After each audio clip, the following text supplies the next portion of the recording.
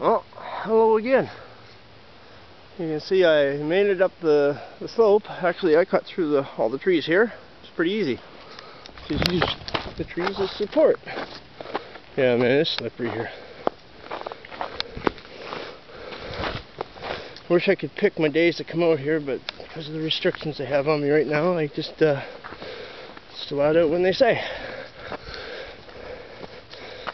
Had it my way, I'd be out here other days. Ready to go. Gotta go off the trail a bit. Thank God there's all this uh, debris on the ground from the wind. Makes good traction. So I'm going up past this uh, ravine. We got down here, it's called the wishing well. It's really cool. They got the trail on either side and a little uh, covered bridge. Boy, I'm sweating here.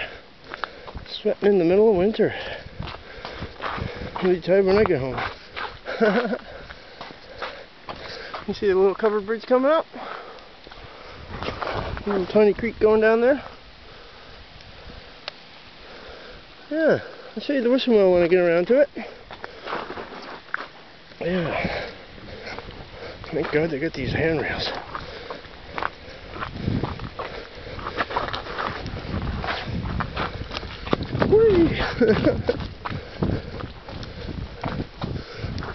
Whew. I'm trying to slow down bit here. Here we go.